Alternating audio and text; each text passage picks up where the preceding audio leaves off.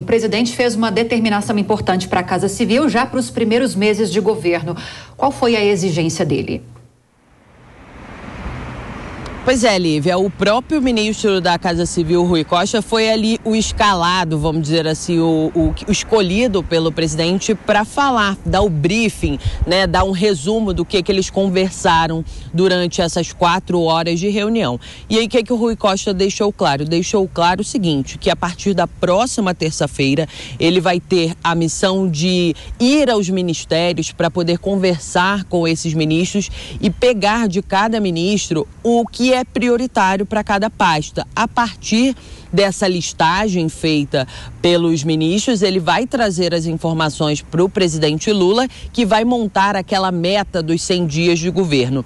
A gente tem inclusive essa fala, essa entrevista coletiva que Rui Costa falou, é, deu, né, depois dessa reunião de ministros. Vamos ouvir.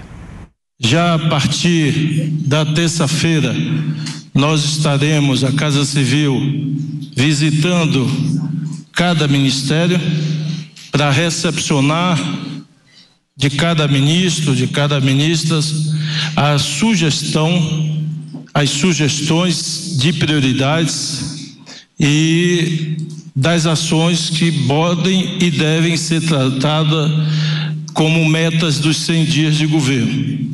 Então, nós iremos priorizar essas ações e, portanto, dar uma sequência já de atos concretos de retomada de programas como Minha Casa Minha Vida, de ações concretas da educação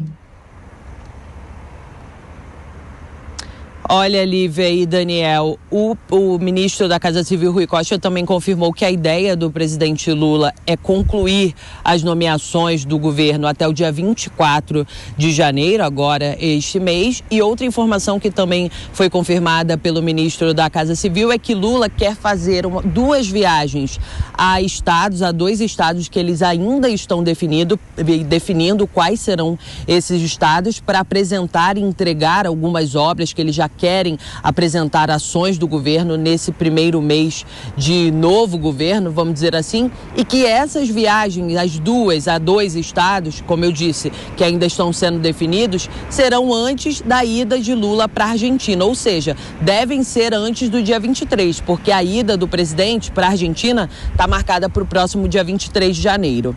Volto com vocês. Yasmin Costa, obrigada pelas informações a respeito dessa primeira reunião ministerial do governo Lula. Bom trabalho para você e até já. Agora eu vou acionar o Rodrigo Constantino para a gente analisar essas decisões, essas falas nessa primeira reunião do governo. Constantino, pelas declarações, pelas informações durante a entrevista coletiva de Rui Costa, ministro da Casa Civil, eh, ficaram bem claras quais serão as primeiras ações do governo, pelo menos nas próximas duas semanas. Vai ser feito esse levantamento, ministério a ministério, para que sejam levantadas essas prioridades. Depois isso vai ser decidido com Lula para saber o que vai ser feito nesses primeiros 100 dias de governo. E tem essa viagem de Lula para pelo menos dois estados antes de embarcar para a Argentina. Pois é, Lívia, eu tenho muita dificuldade, ao contrário dos meus pares da velha imprensa, de encarar esse como um governo novo que chegou agora do nada. Né? Eu lembro, pelo menos ao contrário deles, eu lembro quem foi Lula e o que foi o governo do PT. Então, quando a gente vê falar em prioridades, em voltar com Bolsa, com, com, com Minha Casa Minha Vida, com mais médicos que eles também queriam, as prioridades do PT sempre foram aparelhar o Estado e participar de um mega esquema de butim. Eu não vou participar de nenhuma farsa e fingir que eu não sei disso. Quando ela, essa turma fala em harmonia entre os poderes, Lívia, quando o Rodrigo Pacheco vai lá dizer que o, o, presidente foi aglutinador e tudo mais, eu só consigo lembrar do Lula que chamava uh, uma ala boa do Congresso de 300 picaretas. E quando chegou ao poder, comprou os 300 picaretas, comprovando aquilo que ele falava. Veio o mensalão. Então, de novo, quando ele diz que precisa do Congresso e tudo mais, a gente sabe que ele está querendo dizer o seguinte: fisiológicos, venham cá negociar, porque o meu governo é de negociata. E isso sempre foi a marca registrada do PT. Então, eu não vou entrar numa de fingir que vai ser diferente dessa vez. Não há nada, nada que leve a essa crença.